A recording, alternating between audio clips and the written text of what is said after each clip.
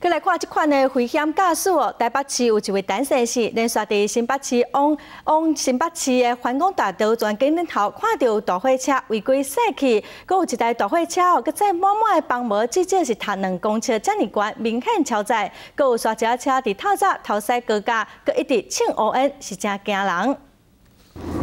暗时六点外下班的时间，单身是在台北环东大道上，突然间看到头前一台大货车违规上路，更加喊过的是详细看，大货车顶面全部拢是帮膜，就就贴了两三公尺悬，明显超载。而且司机唔知是不是啉烧酒醉啊，车一直偏向倒边去，实在是真危险。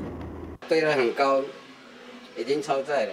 那很危险，万一帮膜掉下来，后面车子又完蛋了。其实台北市的高架道路规定，凡是六栋半以上的大货车甲拖拉机拢袂用行。也毋过真侪司机为着省时间，也是硬开起去。前几天再是六点外，上款伫环东大道，单线时阁拄到一台山石车，开伫路中央，而且阁一路清乌烟，想要闪伊也闪袂开。司机阁挑工甲车牌，改抹乌乌，就算被翕到，也毋知伊车牌是几号。其实根据道路交通管理处罚条例，大车违规开伫高架道路，相关会使处罚一千八百块罚款。我哋假是罚款伤少啊，才有遮侪人拢毋惊，共款才开起去。记者综合报道。